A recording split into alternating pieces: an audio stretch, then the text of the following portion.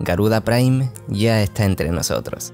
Hoy 28 de marzo ha llegado este nuevo Warframe Prime a todas las plataformas y con el Warframe también nos llega la versión Prime del arco Nagantaka y la versión Prime del Archcañón Korvas.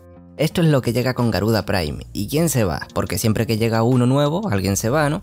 En este caso se va Titania Prime y las armas Corinth y Pangolin Prime.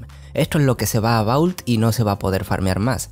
Pero aparte también, cuando entre el Prime Access de Garuda, se va a acabar el Prime Access de Harrow, lo que significa que a Harrow lo podremos conseguir todavía, pero farmeando sus reliquias en el juego o comprándoselo a otra persona. Ya no va a haber acceso Prime pagando. Pero Titania sí que se va a Vault y no la podremos farmear hasta que vuelva a salir, así que aprovecha a comprarla ahora que todavía está barata si quieres tener a Titania Prime en tu arsenal, porque a saber cuándo vuelva a estar disponible de nuevo. Aunque supongo que debes de tener un montonazo de reliquias de Titania Prime si has jugado durante estos últimos meses.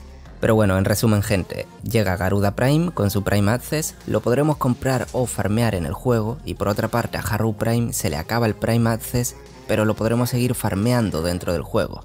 A Titania Prime, la Corinth Prime y la Pangolin Prime, eso sí se va y se va al Vault y no se podrán farmear durante un tiempo.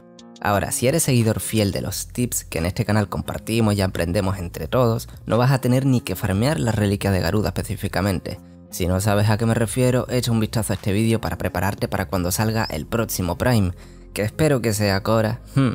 Pero de todos modos, les voy a dejar en pantalla las reliquias de cada parte de Garuda Prime.